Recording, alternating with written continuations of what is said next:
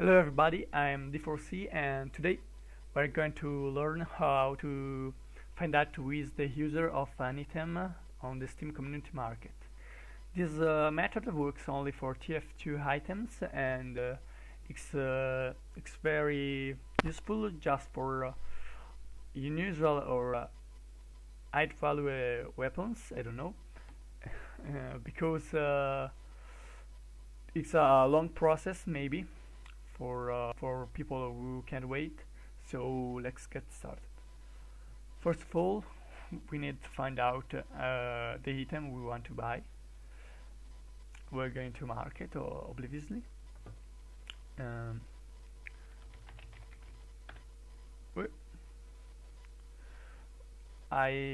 I'm searching for an item obviously.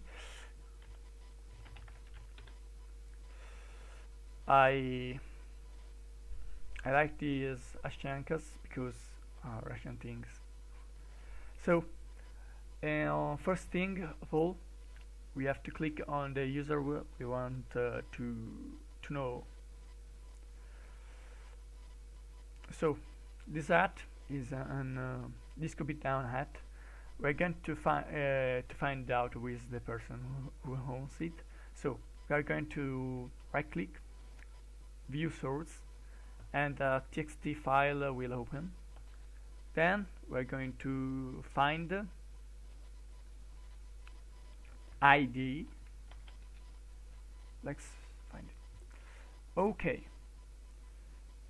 This ID is of nothing. Okay. You have to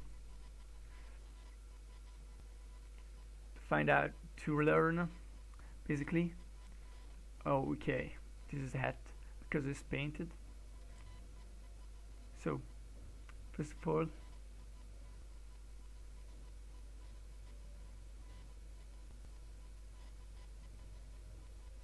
this is the last digit. And so this is the ID this is one part the other part is the 59 with uh, first. We have to very be very very careful about this because we can find out uh, another ID with of another hat. And we want just the disco beat down one. So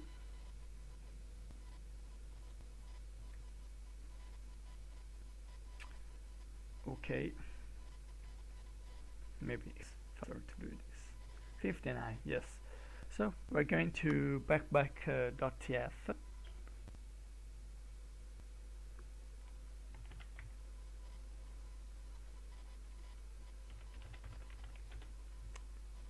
and then uh, we do backpack.tf slash item slash we, we paste the code I have uh, half a code and uh, 59 and we enter that enter that.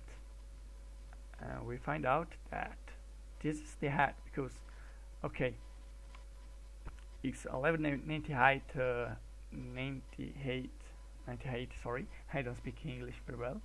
Height with uh, uh, the disco beat down effect. And this is the same the same level and uh, could be down effect so it's clearly clearly this.